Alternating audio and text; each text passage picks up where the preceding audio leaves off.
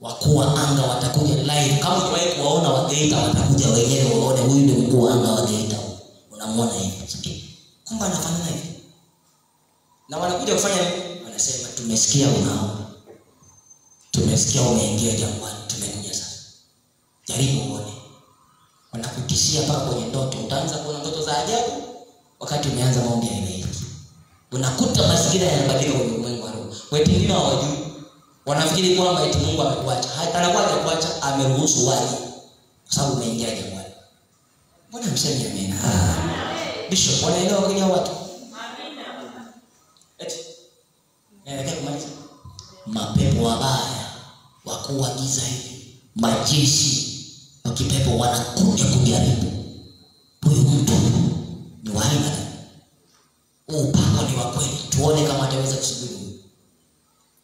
wakati nimeposikia mwili unauma siku moja mwili ukawa unauma wote. Yaani nasikia kila kiungo kinauma. Uchungu unajua uchungu? Mpaka nakuuliza hivi. Nikilala hivi ni uchungu nikiinama hivi ni uchungu nikifanya hivi ni uchungu. Niki, yaani mwili una kama umevunjwa vunjwa siku moja mke wangu akaniuliza kwamba sasa my dear, sisi hatutanaji baba paulo baba nani? Ukiona unamwita mume wako baba nani umeshaacha pomba hajasema amen vitumita baba fulani. Ulioa baba fulani? Ulipomoa alikuwa baba fulani. Maidia huko nitafundisha siku nyingine nikija kwenye habari ya ndoa zao. Nitawafundisha hawajui. Wae baba fulani. Maidia akaniuliza eti utaenda kanisani hivi hivi? Unavyojisikia siwezi kosa kwenda naenda. Naenda tena nakisha vizuri sana nikaondoka. Siku hiyo nikaamua hata hakuna kukaa pale chini naomba nikakaa kwenye viti juu nimefika alafu nikawa naangalia shetani anavyokuja nimpige nikaomba nikaomba. Kesho asubuhi mwili umeachia niko vizuri. Walipiga mwili kwa uchumi kwa hivyo unaweza kuta umeingia mwili ukaanza kuuma. Au ukaanza kuharisha. Usirudi nyumbani. Funga tu naipika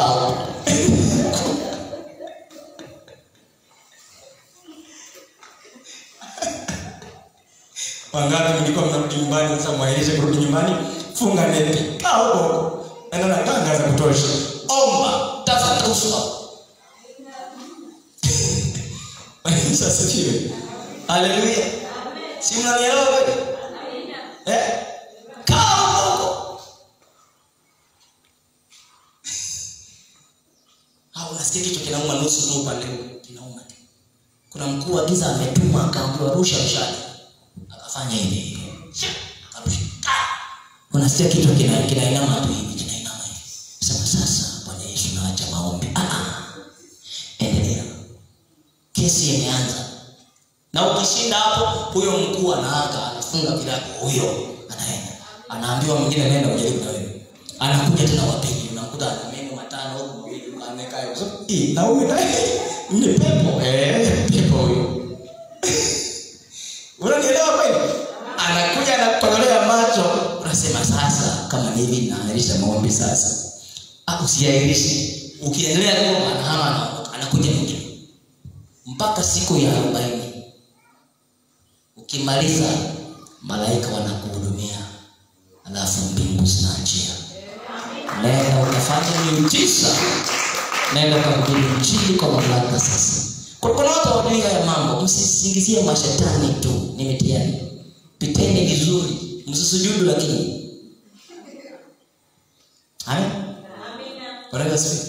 Msifanye nini? Msisujudu sujudu kuna wakati nilikuwa naika maombi alafu na mamio na ndoto chafu kila saa. Yaani kila ukifumba macho ndoto chafu. Kila ukifumba macho. Kana muuliza Mungu sasa hii nimevamiwa au kuna kwaje haya haujavamiwa. Ila wafalme wa giza wanapambana na wewe.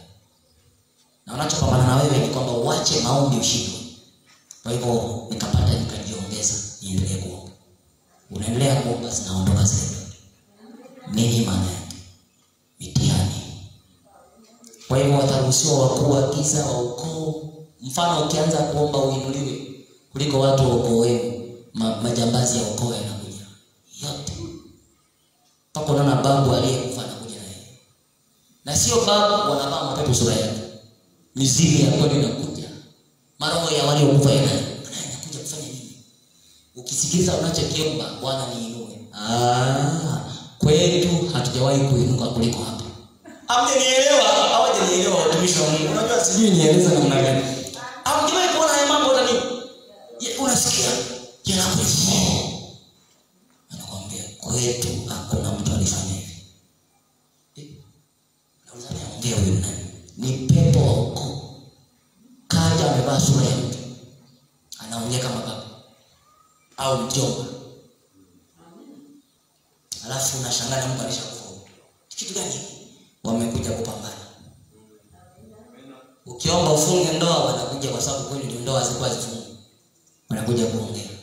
kufunga ndoa.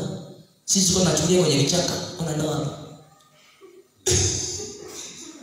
Wewe unabidi mpambane nayo aondoke uendelee mpaka ufunge ndoa. Kwa hiyo ni lazima uelewe ukiingia jangwani wakuu wa giza utakutana nao wa kila sampuli. Kila sampuli. Ukitaka kuishi maisha matakatifu wanakuja wanasema kwetu tulikuwa wazinzi. Utaka utakatifu wa nini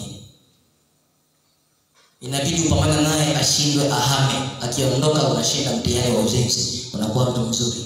Kwa sababu mapepo yanasema kwetu wale watu walikuwa nazini ili somo la jangwani ni zuri.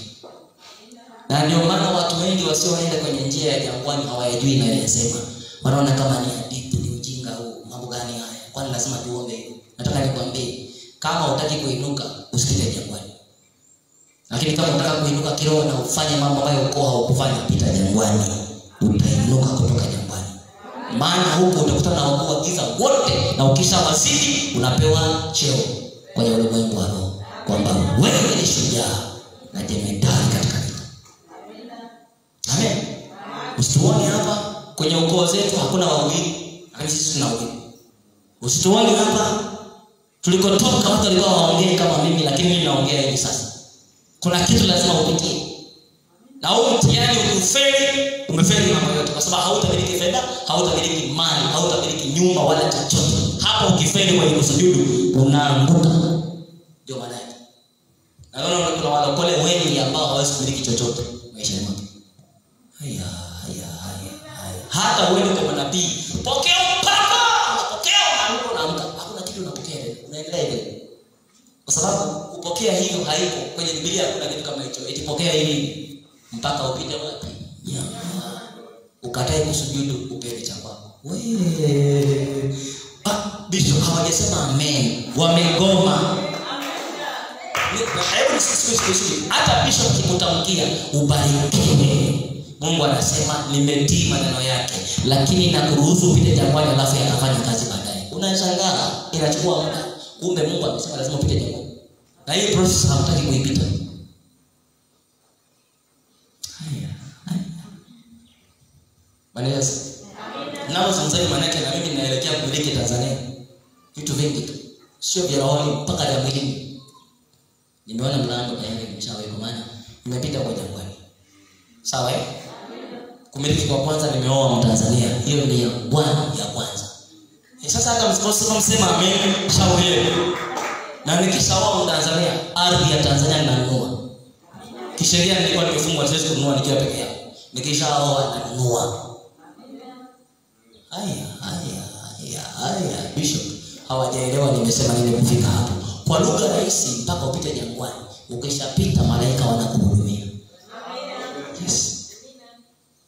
naelekea mwisho kwa maana halisi ni kwamba nimesema waefeso sita kumi na mbili. Waefeso sita kumi na soma kiswahili. Waefeso sita kumi na mbili. Kwa hiyo mimi ni mtanzania tayari kwa lugha rahisi. Inasema kwa maana kushindana kwetu sisi si juu ya damu na nyama bali ni juu ya falme na mamlaka juu ya wakuu wa giza hili mungu akubariki. Nimeuliza swali. Umeshaikutana hiyo andiko live? Hata kusomewa. Umeshaikutana nalo live hilo andiko? Eh? umeshaona wakuu wa giza umeshakutana wakuu wa anga? Ndio hiyo maana yake. Kushindana kwetu. Umeshakutana nao kwa hivyo nataka umiliki ujaribu kushindana nao. Haumiliki chochote nikwambie ukweli. Pengine umeridhishwa na baba. Sawa. Ila cha kwako halisi kwa mungu utapita kwenye hii ngazi inaitwa kumiliki na kutawala. Na usikosee ukamsujudia shetani kwa sababu una haraka ya kumiliki na kutawala. Omba kaa kwa mungu dumisha imani. Vumilia na kusubiri. Alafu baadaye atakufikisha. Geti linafunguka kama alivyofungua mlango huyo mtoto unaambiwa ya kwako ilichukua. Siku nataka kuoa vita vilitokea sana simoni anajua na vita vyote mungu aliniambia ni kwa sababu nataka kuchukua mtu wa nchi. Ni wewe wa nchi nyingine. Kwa hivyo wakuu wa giza wanakataa usioe tanzania. Vita vilipigwa. Watu walinikataa mshaka kwa huko watu kwa ambao walikuwa wananishikilia nyuma wakakimbia wote. Mungu akaniambia shida sio ya kwao shetani anafanya kazi. Pigana kijana pigana! Nikajua namna ya kupiga kwenye ulimwengu wa roho na nikatamka nikasema na ndoa inafungwa nikaandika tarehe ishirini na saba mwezi wa sita haivuki pesa ziwepo zisiwepo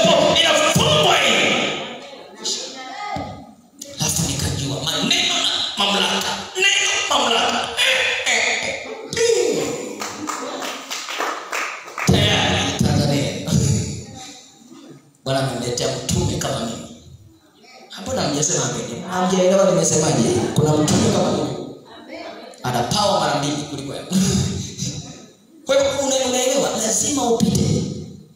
Kwa hiyo wakuu wa walisemaje? Ulikuja na ujumbe wa toba. Urudi na ujumbe wa wa toba. Hauchukui mtu wa kwetu. Hivi ngumi zipigwe watu wakainuka watu wakaleta mafunuo watu wakaleta tumefunuliwa tumefunuliwa. Tumefunuliwa ni mungu haoi na mungu haolewi. Pumbavu pelekeni mafunuo yenu mmenielewa nilichokisema mungu haoi mungu haolewi. Pelekeni nikasimama kwenye njia mpaka nikamaliza safari hiyo. Kilichobaki ni ardhi na naona karibu tu. Tachukua ardhi sasa ya tanzania. Nijenge nyumba ukija huko nanikuta kwangu sio nimepanga tena. Hii inaitwa hatua za kumiliki na kutawala. Na zinakuja ukishapita jangwani kwa sababu huwezi kuhubiri injili ya rohoni tu hapa hakuna pesa. Utapelekaje injili mtwara? Na hakuna msemi naomba niache basi kuhubiri. Hao watu hata hawaelewi. Eti simioni hivi kabisa unaweza kufanya muujiza ule wa filipo wa kupaa mpaka mtwara? Unaweza sasa hivi? Mpaka umejaliwa na bwana au kama waelia wa kupaa tu unaenda kama upepo? Bado tujafika huko wengine wetu kwa hiyo tutatumia magari tumia private jet si ndio tutanunua viatu tutanunua magari. Eh, tukimbie nayo mpaka mwisho wa- nchi kigoma huko. Tutafuta ndege private. Sasa ndege private bila pesa unatoa. Hey, lazima tuvuke twende mpaka ukishamaliza jangwa upewe pesa halali na wewe ukanunue vitu tukaendeshe tukaenda mikoa. Tuwe na basi kubwa limebeba muziki wa toba na urejeshi. Tanzania. Unasikia tu eh, unapita unaenda unapeleka mtwara. Wanasema napita nabii wa bwana hapa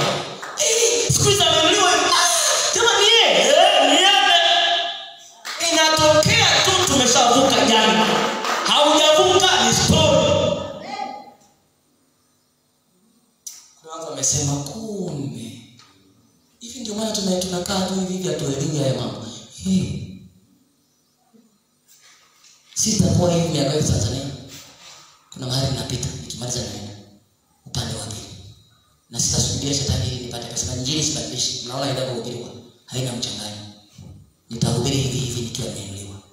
Kwa sababu kuinuliwa kuna na nimekuambia wa mwisho wa kumiliki na kutawala ni mtihani mzuri kwa sababu ukikosa kumsubiri shetani mungu anakupa mali halisi utajiri halisi. Anakupa fedha halali sio haramu.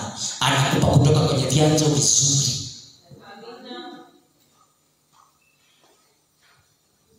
Huwezi kuamini mpaka hapa ndipo nimeunganishwa na watu wenye kujua madini ya nchi ya nini, na kazi imeanza kufanyika. Huwezi kuamini mimi ni mgeni. Na wewe umekaa hapo hebu nini? Bishop hata wewe sijakwambia. Tunyamaze utaona. Kitu kingine kija mwanzo kuona msauzi mkubwa wa, wa kanisa kutoka hapa mpaka mjini usiulize swali. Jua tayari tayari tayari kazi.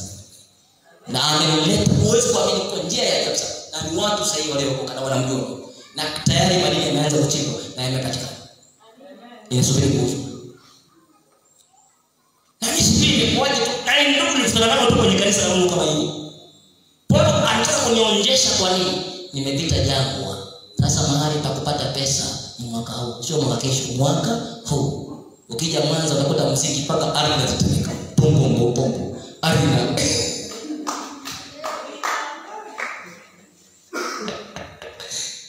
Nadhani kiongea mgeni utaki. Wewe subiri utakuja. Si utakuja Mwanza hapo Usiposubiri kwa shetani, Mungu anafungua nini? Na mimi kesi yangu ni ndogo, mimi nashinda madhabahu nikiomba. Siendi kuomba na kama madhabahu. Siendi kutafuta watu walifadhili na kama madhabahu. Ananielekeza ongea na mtu fulani, ongea na mtu fulani, twende hivi, twende hivi, twende hivi, unganisha na huyu huyu hapa, unasikia kale, ongea na mtu fulani inakuja. Tunaenda hivyo na tunapanda muda unafika unashangaa hivyo nikija hapa na mimi na gari moja refu usiulize maswali mengi sema tu asante bwana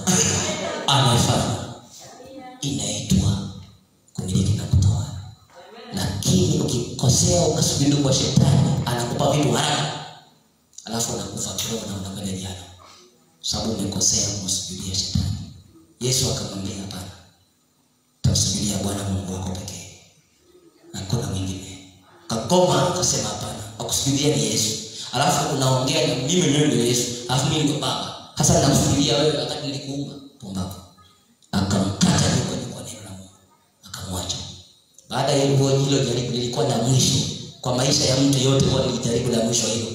Na kumiliki na kutawala. Alafu hapo wanasema malaika wakaja wakamhudumia yesu wangapi hamtakimbia darasa? Kuna wengine mlikuwa darasani mnataka kukimbia. Wangapi hamtakimbia darasa? Mkae tu darasani mmalize. Eh, wangapi hamtakimbia darasa? Mkae huko kwenye darasa mmalizie chuo cha sawa eh? msikimbie Okoka wa- walikimbia darasa. Mwa- mwa- mwanafunzi fulani upo sipo alikimbia darasa. Usifanye kaa na mimi nimepita mambo mengi. Usicheze. Kama nikuondoka tanzania ndio nimeshaondoka. Nimepita mambo mengi. Ninalala njaa najua kulala njaa. Usiniambie huko pia mambo sio ya kupitia mapito magumu watu kukataa mambo magumu kwa kuuawa kama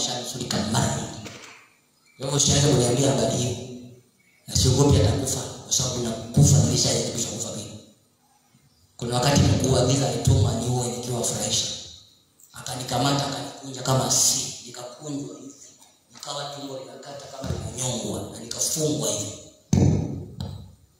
Na nimetoka kuhubiri kwenye mkutano nilifika nyumbani na lia kama mtoto mdogo. Wahubiri wa wenzangu wakaniambia mtumishi kesho ataenda kuhubiri. Nikamwambia nitaenda kuhubiri. Baba ukiwa hivi niwambia ndio kuna shida gani? Mungu atamtoa katika hali hii. Na hii ilikuwa sio ugonjwa nilirushiwa mshale ukapita nikauma sana. Tumbo mpaka nikamwambia mungu nataka nifumbe macho. Nikifungua nimejikuta paradiso. Nilipofungua nikuta bado niko mwanza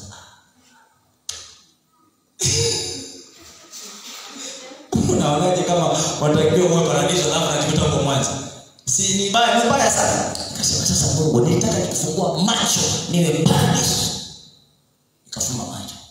Kahesabu moja mbili kwa jina la yesu. Nilipofungua nikakuta niko mwanza mungu hakuwa mwisho niende nilipoangalia juu nikaona ndege weupe sana. Na nimelala nje sio ndani ya nyumba nje. Nikaona ndege weupe wanapita juu anga la juu sijajua ni anga gani lile. mungu akaniambia unaona wale ndege wanapita weupe nimekusaidia hautakufa haujamaliza kazi yako. Nikarudi kwenye uhai wangu. Injili hiyo nikikupa mahubiri yake yana nguvu kuliko mahubiri tuliwahi kuhubiri. Ina nguvu sikutisha maisha. Kwa hiyo nasema nini? Lazima ukubali kupita hiyo mtihani usimsujudie Lucifer hata akakutishia kuua. Usimwinamie amen. Amen pesa mali utajiri umaarufu visikuchanganye. msubirie bwana mungu wako pekee. Mwabudu yeye. Subiri fanya kazi kwa bidii uwe mwaminifu kwa mungu.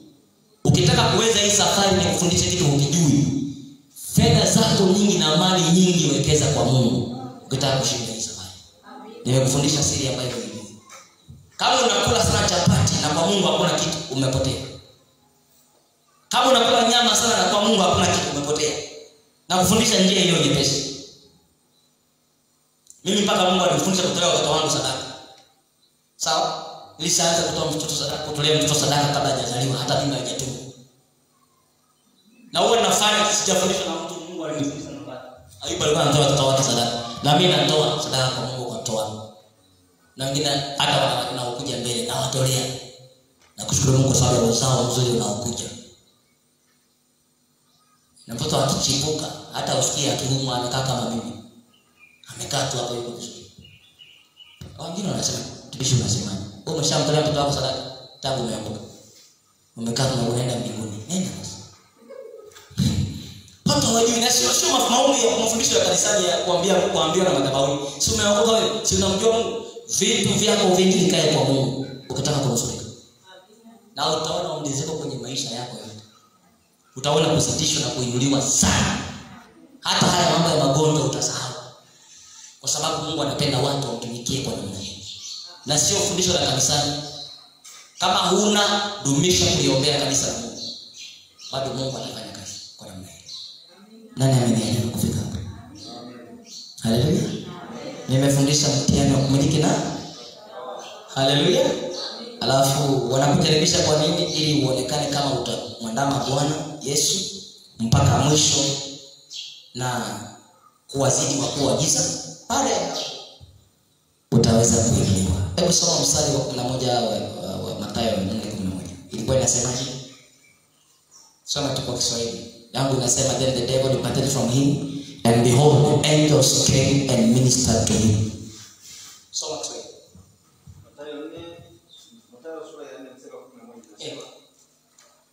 inasema, kisha ibilisi akamwacha na tazama wakaja malaika wakamtumikia. Mbariki bwana kwa makofi. Baada ya jangwa malaika wanarudishwa nilikwambia jana unapoingia jangwani malaika wanawekwa pembeni. Unakuwa na yesu baba na roho mtakatifu jangwani. Malaika wanawekwa pembeni. Kwa sababu malaika hawaabudiwi ni watumishi kama wewe haujanielewa haujanielewa. Malaika hawaabudiwi ni watumishi kama wewe. Jambo la pili malaika hawaruhusiwi kwa muda huo kwa sababu kinachothibitisha kwako ni imani na utamani wa imani yako. Ni utamani wa upako uliobeba. Wewe wanaachiwa ili uende imani ihakikishwe mafuta yahakikishwe ujasiri uhakikishwe nguvu zihakikishwe la baada ya hapo malaika. Anasema wakamhudumia na mnafikiri kuanzia hapo mlisikia miujiza ya yesu sio? hakuna haja kuzungumza habari ya miujiza ya yesu. Alifanya miujiza mingi sana. Na mingine haikuandikwa kwenye biblia. Ingeandikwa yote vitabu visingetosha ni kwa sababu alifanya mambo makubwa katika siku hizo baada ya kutoka jangwani. Na hujawahi kusikia yesu alifunga tena kwa mara nyingine siku saba hakufunga tena alikuwa anakula na kunywa na kutembea na kufanya ishara na maajabu. Maana- nilikuambia kwamba siku za jangwani ni siku za kuweka msingi wa kiroho maisha yako. Ali- aliweka msingi wa maombi na neno jangwani alafu alipotoka alikuwa ameshiba na ndio maana hata eliya alipomkimbia yezebeli kutaka kwenda kufa kaa chini ya mti aliambiwa nini? Amka ule unywe. Kula neno la mungu. Unywe roho mtakatifu.